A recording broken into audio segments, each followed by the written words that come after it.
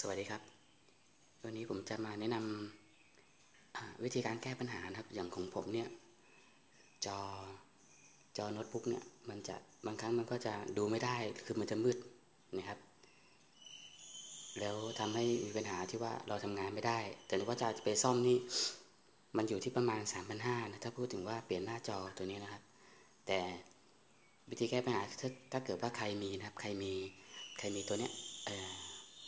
จอ PC จอ PC สำหรับตั้งโต๊ะเนี่ยครับ ก็สามารถที่จะมาใช้ทดแทนกันไปได้ก่อนนะครับก็วิธีการต่อสายก็ไม่ยากนะครับต้องเหมือนกันเนี่ยเรามีตัวนี้นะไฟนะไฟเข้าแล้วตัวนี้ก็ตัวที่เราจะต่อเข้า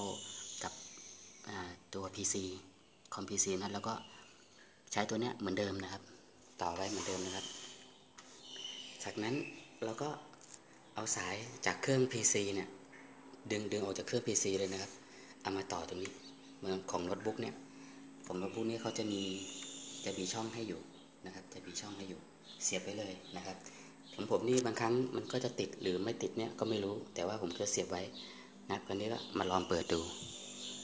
เปิดเปิดไฟครับหน้าจอเนี่ยครับอันนี้เปิดเครื่องไว้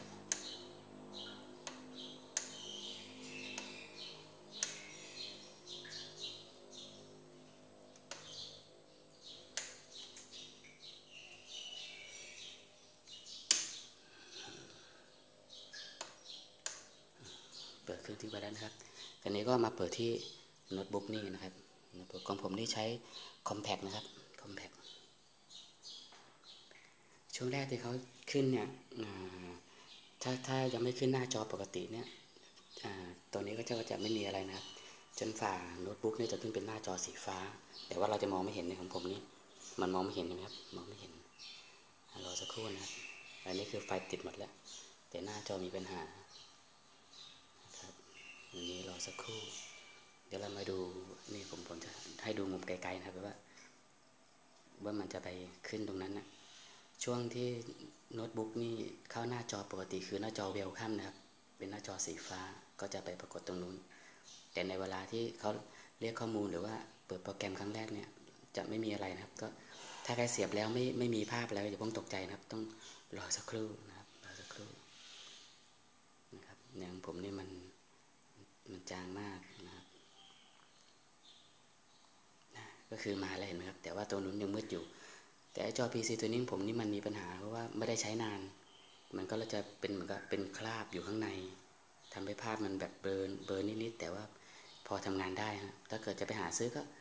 มือสองก็มีตั้งแต่ตัวละเก้าร้อยพันสองพันห้าสองพันแต่ถ้าเกิดของใหม่เลยมันอยู่ที่ประมาณสองพันเก้านะครับเนี่ยก็คือใช้ได้แล้ว ครับเนี่ยถ้าเกิดใครมีปัญหานะครับใครมีปัญหาก็ทำตามที่ผมแนะนำนะครับ ก็คือ เอาสายที่เราต่อจากเครื่อง PC ตัวเนี้ย PC ตั้งโต๊ะเนี่ยถอดออกนะครับนะเดี๋ยวเราก็ย้ายสายของ PC ตัวเนี้ยมาไว้ตัวนี้นะครับ ส่วนข้างหลังเครื่องไอ้ข้างหลังจอมอนิเตอร์ของตั้งโต๊ะตัวเนี้ยเราก็ใช้เหมือนเดิมนะครับ อย่าลืมว่ามันจะมีสายสำหรับเสียบไฟด้วยนะครับตัวนี้เหมือนกับเสียบสายของ เหมือนกับสายของโน้ตบุ๊กนะครับ มันจะมีตัวแปลงไฟเข้าไปอยู่นะครับ นี่ก็ใช้งานได้ปกตินะครับอย่างนี้เราก็ใช้ดูดูจอตัวนี้นะครับ เมาส์ขยับหน่อยแล้วก็ลองเข้า Google ให้ให้ Google ดู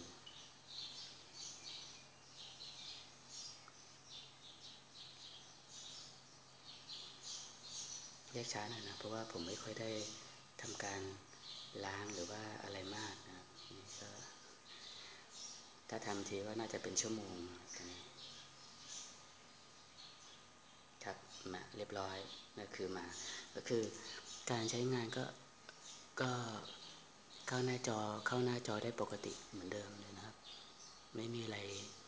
ไม่มีอะไรที่ว่ามันจะติดขัดนะครับเหมือนกับเราใช้เหมือนกับเราใช้จอของตัวเนี้ยนะครับเหมือนกับเหมือนกับใช้จอโน้ตบุ๊กแต่ว่าย้ายจากจอนี้มาไว้ที่จอนี้ อย่างแรกคือประหยัดเงินครับ ถ้าเราถ้าเราไปเปลี่ยนหน้าจอมันก็สามพันกว่า แต่ถ้าเป็นที่สายแพรนะถ้าเป็นที่สายแพรนี่ก็อยู่ที่ประมาณพันสองนะครับ ตัวเนี้ยอยู่ที่น่าอยู่ที่ประมาณพันสองครับเห็นไหมว่าความแตกต่างมันก็ไม่มีไม่มีอะไรมากหรือว่า ถ้าใครมีเครื่อง PC อยู่แล้วเนี่ยมันก็จะประหยัดเงิน จะประหยัดเงินไปได้เยอะนะก็คือใช้ตัวนี้ไปได้ก่อน จนกว่าตัวเนี้ยจะพังซื้อตัวนี้มาเปลี่ยนหรือว่าเราจะซื้อโน้ตบุ๊กใหม่ก็ได้แล้วแต่แต่ถ้า ต้องการประหยัดเงิน ผมก็แนะนำวิธีนี้นะครับ ครับวันนี้ผมก็แนะนำเท่านี้นะครับ สวัสดีครับ